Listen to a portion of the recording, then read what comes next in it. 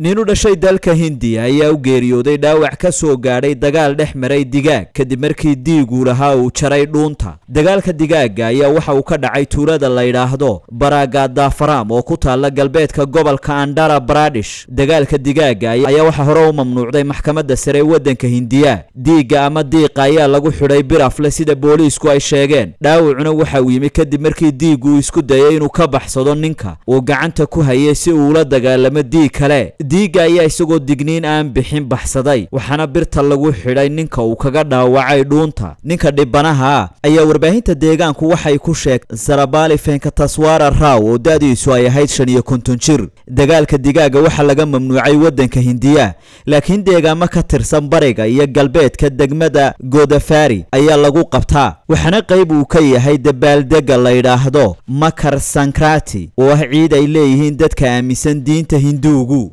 like gare sidoo kale sabskrayb gare bartayada youtube-ka ee saab t v si aad uga mid noqoto dadka ugu horreeya ee hela wararka barnaamijyada iyo warbixinaha aan idiin soo gudbino meel kastoo aad adduunka daafihiisa ka joogto la soo deg abka saab t v. Sidoo kalena booqo websayteka saab t v com. Fadlan nagu xidhnow wilaada dahabshee haddaba macmil adeegan cusub ee casrigaahi waxa uu kuu sahlayaa in adigoo jooga gurigaaga hoose goobtaada shaqo aad lacag ugu xawshid asxaabtaada iyo ehelkaaga jooga daafaha dunida